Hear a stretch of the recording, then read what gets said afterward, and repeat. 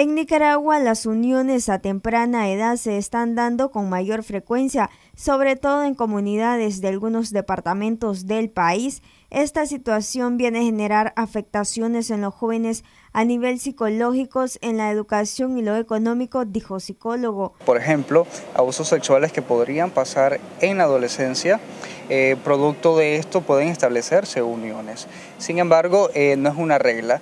Eh, los embarazos adolescentes, por ejemplo, son efectos que pueden establecerse en las uniones de personas jóvenes, eh, hay una falta de madurez cognitiva en la vida, hay un bajo nivel académico que es totalmente visible, una incertidumbre económica y también matrimonios forzados, que son problemas que acarrean muchas veces los jóvenes y que tienen bastantes dificultades. Pérez expresó qué hacer ante dicha problemática. En primer lugar, posibles adicciones. Cuando nosotros tenemos, estamos en presencia de una unión forzada, estamos hablando de posibles eh, trastornos como de adicciones que pueden presentarse producto de posiblemente la frustración traumas psicológicos a nivel general, eh, bajo nivel económico totalmente, que influye en eh, en la calidad de vida de las personas y una mayor dificultad para cumplir las metas. En ese sentido, eh, tenemos eh, no solamente mayores dificultades, sino también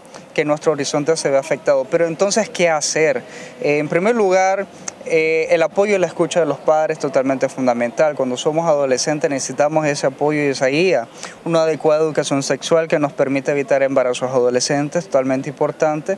Las actividades recreativas y Obviamente la parte psicológica y la orientación vocacional mientras somos adolescentes es totalmente fundamental para evitar este tipo de problemáticas. Noticias 12 Darlene Telles.